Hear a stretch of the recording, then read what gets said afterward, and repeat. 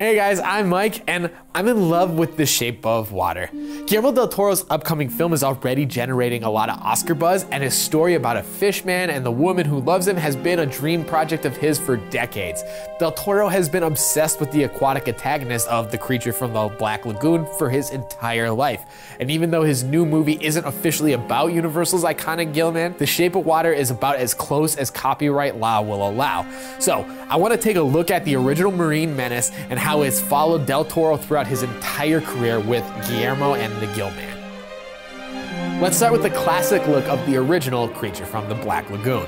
The film was inspired by myths about a race of fishermen that lived in the Amazon River, along with a healthy helping of Beauty and the Beast.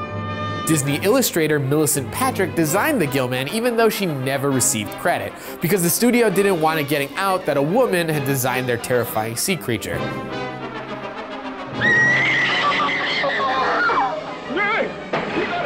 Patrick based her design on 17th century woodcuts of a fantastical fish called the sea monk.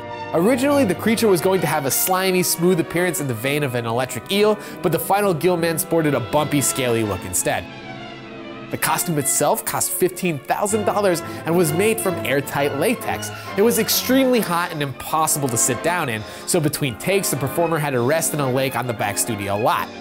When the movie was made in 1954, technology had progressed a lot from Universal's early monster films, but the creature suit was extremely primitive by today's standards. It had a squeeze bowl built into the arm to flutter the gills, a mouth that opened slightly when the performer tilted his head back, and eyes that didn't move at all.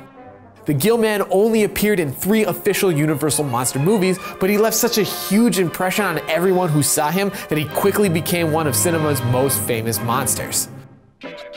As a young boy in Mexico, Del Toro learned to speak English through Forrest J. Ackerman's legendary magazine, Famous Monsters of Filmland. Famous Monsters instilled a lifelong awe of cinematic creatures in the young filmmaker, and the Gill Man had the biggest effect by far. As a kid, he was fascinated by the creature's grace and beauty as it pursued its prey. But he couldn't understand why it didn't wind up with the girl at the end of the movie. He spent days drawing the monster and its co-star Julie Adams eating ice cream, having dinner, and living together in wedded bliss. He'd eventually get the chance to give the Gill Man a happy ending, but first he had to turn his monster obsession into an impressive career. In 1985, he founded a Mexican special effects company called Necropia, and he soon transitioned into directing his own films starting with 1993's Cronos.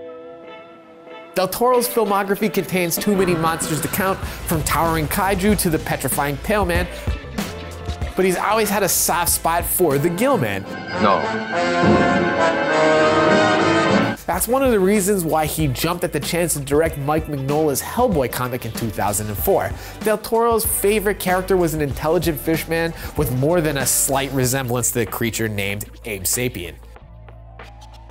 Starting with Mignola's art, Del Toro and effects house Spectral Motion re-envisioned Sapien for the big screen. Instead of a gross green gillman, they made him smooth like a dolphin with gorgeous fish markings across his shiny skin. The suit itself was built around performer Doug Jones' unique frame. At 6'3", with a thin build and long neck, Jones seemed custom made to fit inside any kind of monster Del Toro can dream up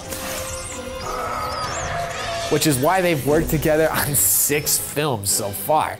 The Abe Sapien makeup took up to six hours to apply after a vacuum form faceplate compressed Jones's nose and other features. You're in love.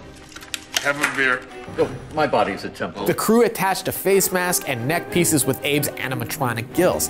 Each set consisted of three separate servo motors that undulated in sequence for the most organic animation possible. The makeup fit so closely to Jones's face that they couldn't stuff any extra mechanisms inside, so Abe's eyes and his trademark three-lidded blink were entirely CGI. For the sequel, the design was altered with different markings, a lighter color scheme, and a more muscular build. Fortunately for Jones, Spectral Motion streamlined the application process while they were at it. In the first movie, the makeup left sections of Jones's body uncovered, which means artists had to painstakingly airbrush his skin to match the prosthetics.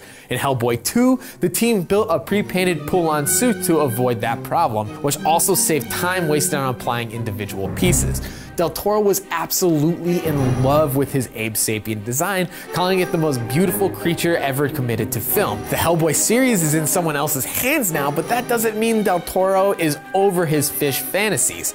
He actually had the opportunity to oversee Universal's doomed Dark Universe project, which would have included a reboot of Creature from the Black Lagoon.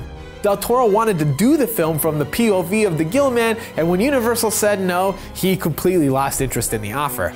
But this year, he's finally going to give the creature the happy ending it deserves, sort of. The monster in the shape of water isn't the Gillman, and it's not Abe Sapien either. Instead, Del Toro's latest and greatest fish creature is known only as the Asset.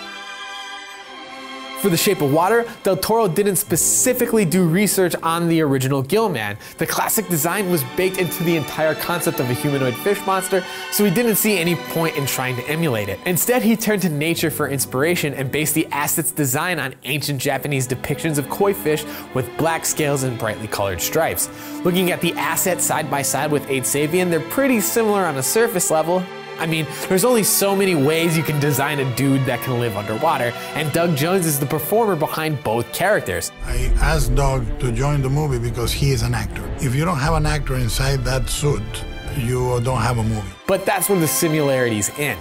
Where Abe Sapien is intelligent, eloquent, and extremely polite. Forgive me, I didn't mean to startle you. The asset is an animal. It's a creature from the Amazonian wild, not a highly educated secret agent. Three decades I've only completed two sides.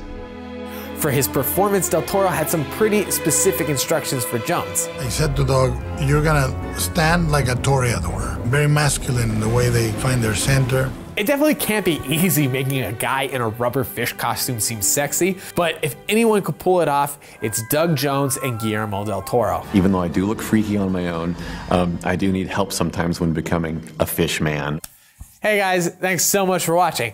We're big fans of Guillermo del Toro here, but he's made so many monster movies we had to just stick with the fish. What's your favorite GDT monster? Hellboy, the Pale Man, Knifehead? Let us know in the comments, and as always, please subscribe to Now This Nerd.